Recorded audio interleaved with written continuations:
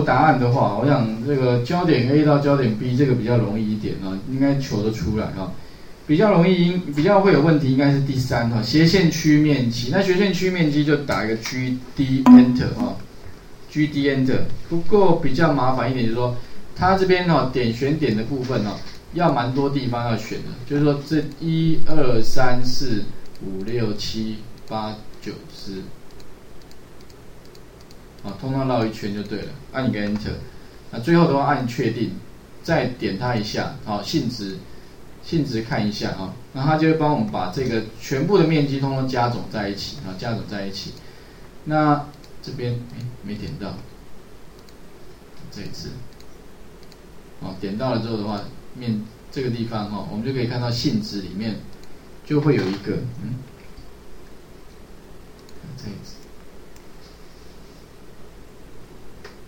啊点一下哦，性质，那这边就有个面积哈。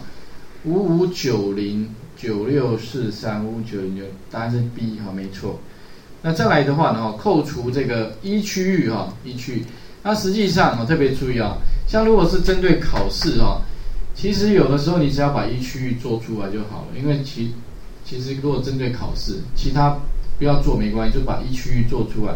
那特别注意，如果扣除 G D Enter，假设我要求面积嘛哈，点选点点一下，按 Enter。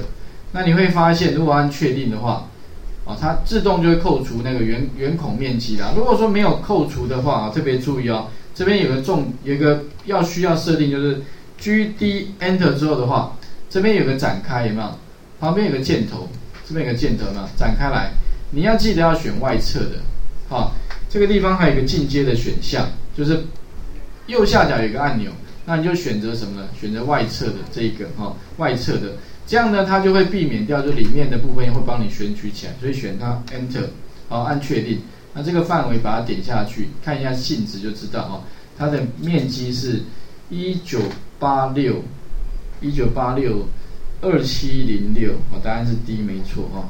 那其他的话，我想这个外围面积刚刚也求过，应该求出来哈。只要是跟这个答案一样的话，那表示你这个地方就做正确哈。